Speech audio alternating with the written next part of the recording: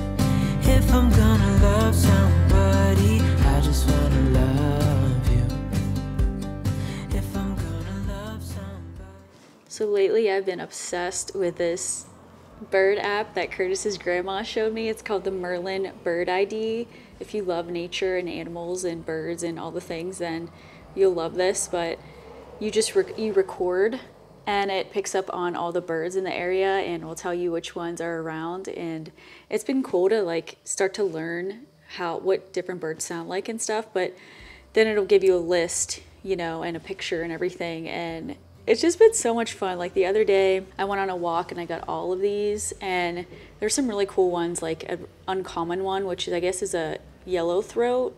It said it said it was uncommon, but I got a woodpecker, a hawk, you know, the basics like cardinals and stuff like that. But then chickadees, finches, gnatcatchers, which I've never heard of, flycatchers, which I've never heard of, and a crow. Obviously, everybody knows what that sounds like. But it's just been so fun, and it makes my walks more enjoyable. I usually walk once a day, between 30 minutes to an hour a day. I try to. It's just good for the soul, and I just love to walk and just look at the nature and everything. So it's been so fun. But also, if you drink matcha and you haven't tried putting strawberry or berry puree in your matcha yet, you're so missing out. I love matcha, but sometimes I want to spice it up a little bit and I get kind of bored, so I've been I've been putting berry puree into it. It's just fun for summer and I love it, but we got some stuff to do today for the wedding. There's always something to be done, but today I need to go to Hobby Lobby and pick up some things um, because they're having a Memorial Day sale. So I need to get some frames and a wedding card box and I might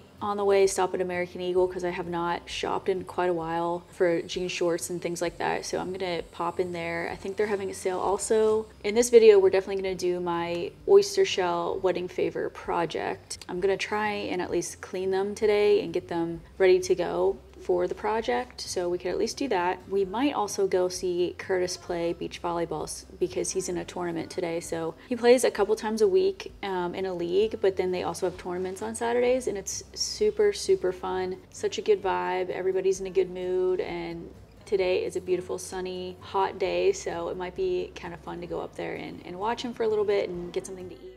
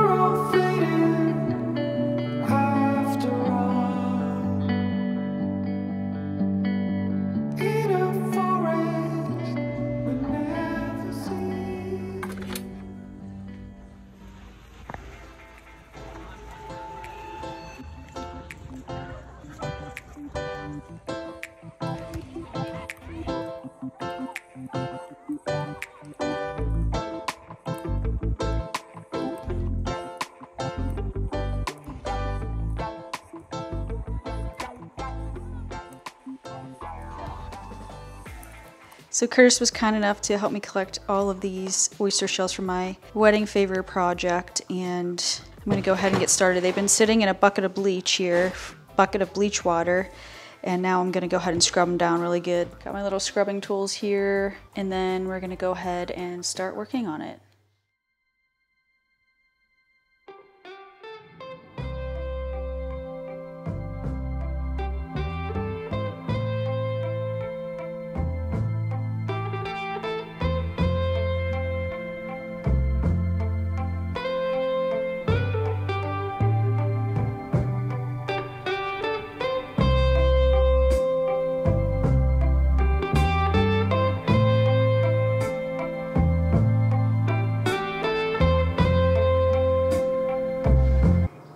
Scrubbed them down with soap and water, and now I just towel dried them.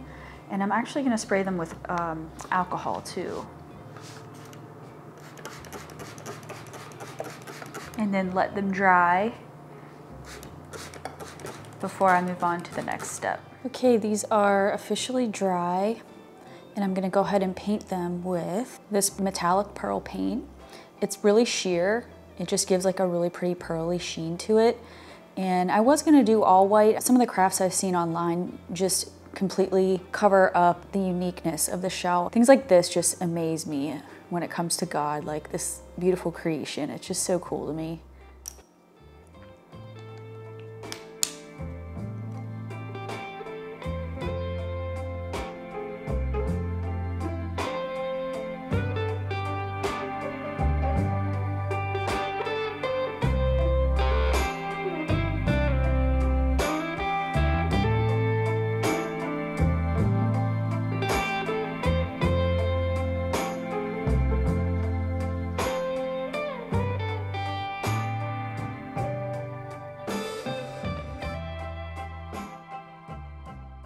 So you can see the difference here between the one that's not painted and the one that is painted. It has just this really pretty pearl sheen to it. And once I complete all of these, I'm also gonna paint the edges gold because our colors are your typical black and white and then an accent color is gonna be gold. So I'll paint the edges gold and then I will also add a gloss over that and write each person's name on it. So I really don't want it to be perfect. I want it to look like someone handmade it, if you know what I mean.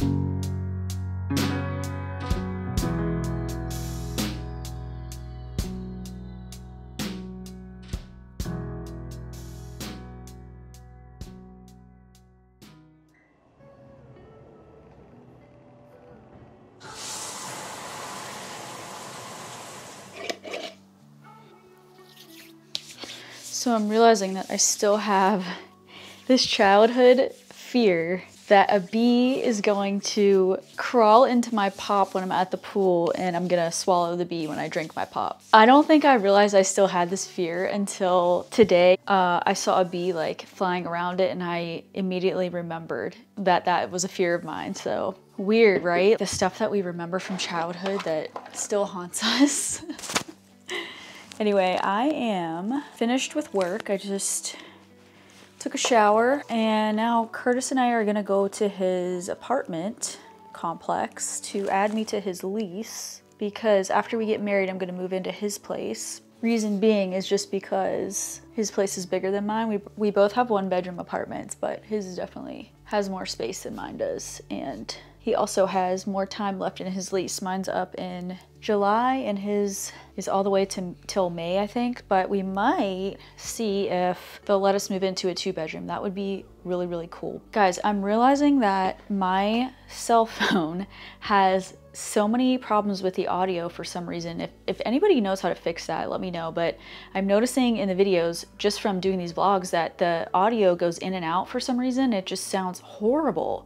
So now I'm like, I actually have to take my camera out and vlog when I'm in the car or wherever if I want there to be sound because it just sounds terrible. I don't know, maybe it's a good thing because I'm getting practice using the camera all the time, but let me know if you know what's wrong with it. Maybe there's water in it or something, but the phone is like four or five years old.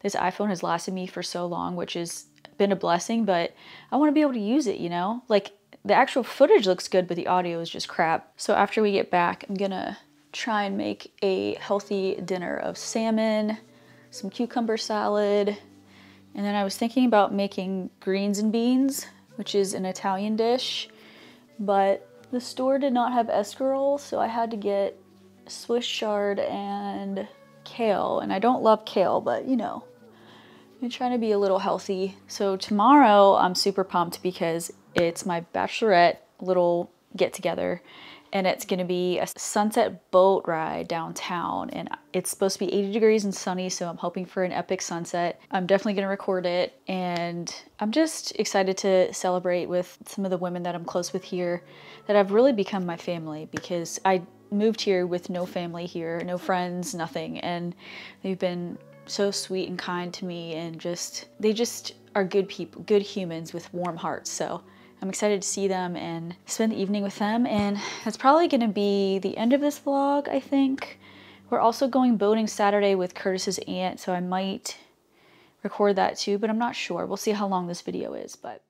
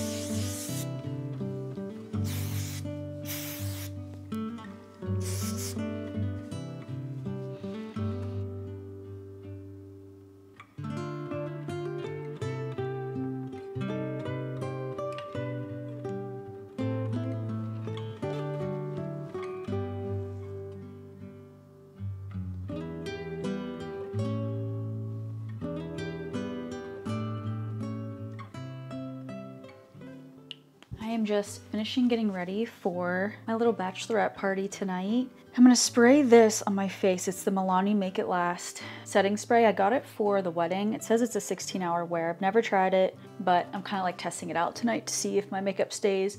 It's not too hot. I think it's like 80. It'll probably be in the 70s when we're on the boat. Smells really good. Hopefully it does what it says, you know? I'm gonna wear these pearls too my mom gave me, but I didn't like the length of them, so I actually want it to be more like a choker, and I just added some links to it. It was really easy to do. And then I added a little butterfly to it just because, I mean, why not, you know? So I'm gonna wear this.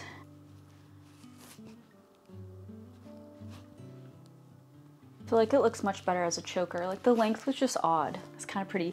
Definitely am wearing pearls on my wedding day on my little sparkly belt and my earrings. So I also made those oyster wedding favors, so kind of like a theme going here. I'm trying to figure out what shoes to wear, so I have two different options. I'm trying to decide between these sparkly flip-flops and cowboy boots because I feel like we're going to be walking a little bit, so I don't want to be crazy uncomfortable, but I'm kind of liking the cowboy boots better. I like that. Hi!